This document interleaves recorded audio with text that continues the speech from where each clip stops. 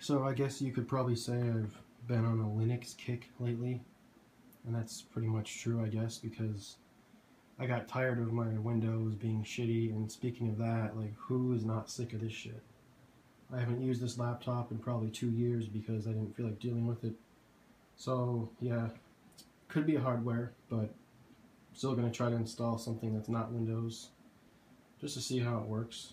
And, yeah, I don't know. This, uh, really don't like Windows 8 anyway. So I guess I'll try some version of Linux on here to see if it works. And yeah, I don't know. Hopefully uh, that's all I have to do. Hopefully I don't have to replace any hardware.